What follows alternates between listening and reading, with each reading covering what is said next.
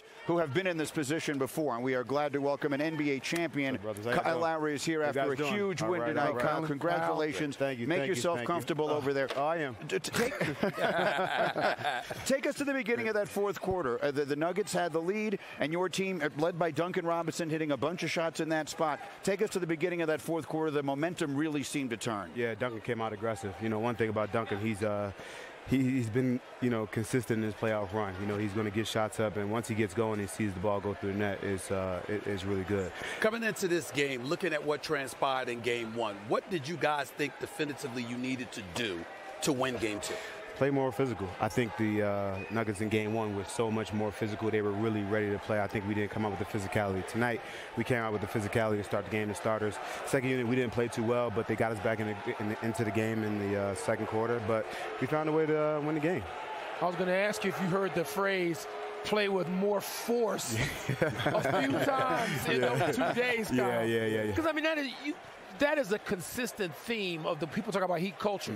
That's a big part of it. Mm-hmm. Yeah, yeah, we didn't play uh, as, as aggressive as with force as we wanted to in game one, but also we had great looks in game one. You know, Max Strus came out tonight, hit four threes in the first quarter, so that kind of helped and you know got us some energy. But like I said, it's about force. You know, they got great players in Jamal and Jokic, and uh, we just had to take out all the other other guys a little bit. Kyle, congratulations. Thank the key to playing a long time in this league is the ability to have your ego and your game reinvent itself.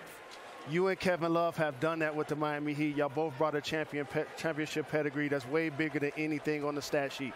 Talk about what it was like for you to see him in the starting lineup, getting double-digit boards, and also you're not, you knocking down threes and playing Yeah, well. Also, I, I think Kev is just, uh, the ultimate pro. I mean, he's been here. Our, he changed our locker room, honestly, with his energy and effort, his vocalness, his, uh, his, his sarcasm, honestly.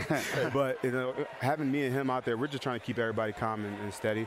Um, and for me, you know, and, I, and both of us coming off the bench, we know our roles. We understand our roles. We understand who's our best players, who we got to keep going, and you know, we're just like the extensions of the coach. You know, uh, I'm sorry, but but you said an interesting thing a moment ago about keeping the other guys in check. Yeah. And in this game, Nikola Jokic had 41 points, but he only Did had he? four. He did. I ain't gonna lie, I didn't know that. he had four, he had He's right there. He's right the there. He's right there. He had 41, po- but he only had four assists. What, what can you tell us about the, the game plan defensively? It, it certainly seemed as though there was a concerted effort to make sure he wasn't able to get everyone else involved. Force and physicality, right? Not letting them get easy baskets on the cuts. Um, you know, I think last game one, Aaron Gordon started out with 12 first quarter points in the paint, and we weren't as aggressive in, in not letting them cut. You know, we let them cut everywhere. Tonight, we were a little bit body on and making sure they were going over top.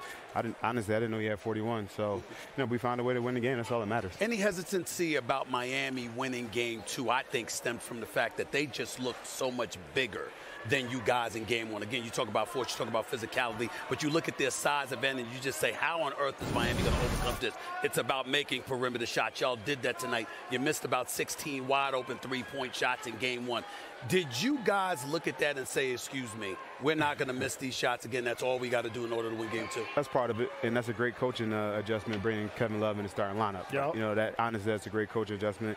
But our team is ready for anything. You know, we can go small, we can go big, and we got everything. And like you said, we knew we, were- you know, we got great open looks in the uh, in, in game one, and we just had to continue to stay with our game and our game plan. You had so many people contribute. I think you guys had like 10 guys in the game in the first quarter, but you had so many contribute. Kyle, I know you weren't in there very long, but the locker room after the way you won.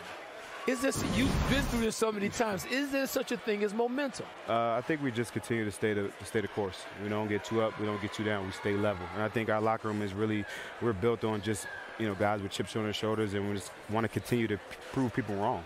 What about Bam's versatility? I seen him block a shot on Jokic one on one, create offense for teammates, knock down jump shots, grab rebounds, hustle, diving into the stands. Celebrate Bam. Yeah, he's a phenomenal passer also.